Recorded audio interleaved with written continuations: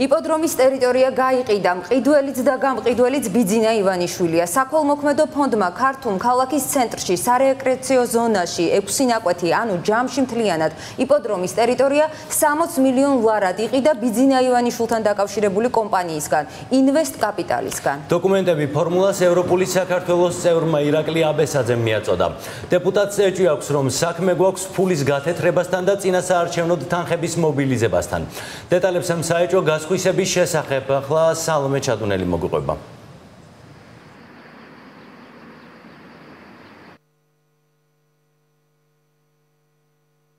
ძველი იპოდრომის ტერიტორია ბიძინა ივანიშვილმა გაყიდა და მყიდველი თავად ბიძინა ივანიშვილია სასაცილოა, მაგრამ ასეა საერთაშორისო ფონდ ქართუს აყიდინა თავისი შეფესესგან იპოდრომის ტერიტორია და ამაში გადაიხადა 60 მილიონი ლარი. გადაიდო ფული 1 ჯიბიდან მეორეში მარტივი ასახსნელია, როგორც ჩანს, უფრო იოლად შეძლებს შემდგომ ამის ხარჯვას. თუ კი სხვა ახსნა არსებობს ამის ლოგიკური, მოგვაწოდონ ეს ახსნა და გააკეთონ საჯარო განმარტებები, თუ არა და მაღალია, რა თქმა უნდა, ეჭვი და ალბათობა იმის, რომ მოხდა გარკვეული რაოდენობის თანხის გათეთრება, გაცოცხლება, ასე ვთქვათ, შეფესეს ანგარიშზე, რომლის საქმიანობაც ასე პირდაპირ კონტროლს არ ექვემდებარება, ვერ გამოვითხოვთ მისგან ინფორმაციას, ვერ გვეცოდინება, რაში დაიხარჯა ეს სახსრები, რაც მას უიოლებს ამ ფულის სხვა სხვადასხვა უკანონო მიზნებისთვის, მათ შორის წინასაარჩევნო მიზნებისთვის გამოყენებას.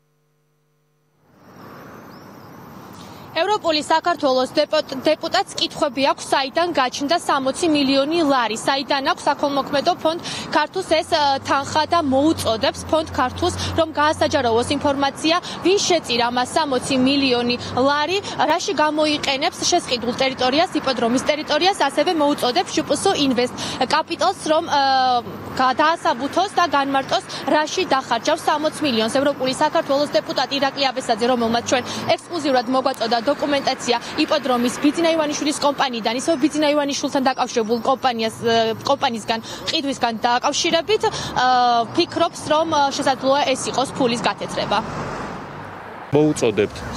საქველმოქმედო ფონდ ქართუს საჯარო გახადოს ინფორმაცია შემომწირველების თუ რასახსრების მოხდა ამ მიწის ნაკვეთების ყიდვა, რა მიზნები არსებობს ძველი იპოდრომთან მიმართებით, რატომ მოხდა ახლა წინასაარჩევნოდ ამ 60 მილიონი ლარის გადახდა და მეორე, რა თქმა უნდა, უნდა იყოს სრული გამჭირვალობა მათ შორის მიუხედავად ასეთი პირდაპირ საკანონმდებლო მოთხოვნის არარსებობისა, თორე საუბრობთ პარტია ქართული ოცების თავმჯდომარეზე ივანიშვილზე, რომლებიც საბიუჯეტო სახსებს თუ პირად სახსებს მუდმივად უკანონოდ იყენებენ იქნებენ წინასაარჩევნო პროცესში. რა თქმა უნდა, მაქსიმალური დაკვირვება უნდა არსებობდეს სადამკვირვებლო ორგანიზაციებისგან, არასამთავრობო ორგანიზაციებისგანაც ამ ტრანზაქციის მიმართ.